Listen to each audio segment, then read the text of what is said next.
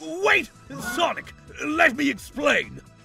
I've only designed setless landmines specifically targeting you, but I never thought it was your companion who fell for it first. I'm sure there's always someone's as good reflexes as you are. I'm tired of your excuses, Eggman. This time you've really gone too far!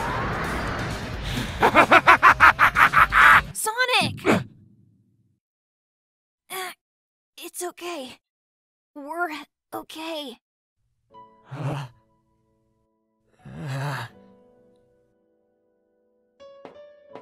I'm out of here. Um.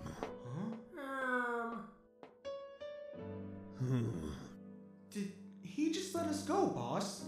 I thought we were toast. We're not toast, but we would have been dead for sure.